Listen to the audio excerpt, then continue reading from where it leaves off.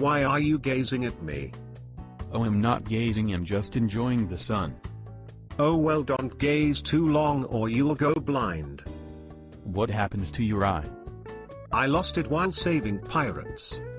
Why were you saving pirates the robbers and their killers and they are none too bright? Well at the time, I was in London England. I killed many men. But out of love. How could it be out of love explain yourself? Well kind sir, I was living in hard times. I had to fight to survive. We had to fish and hunt for our food. Well interesting story, you know I once choked on a peanut. So, what does that have to do with anything?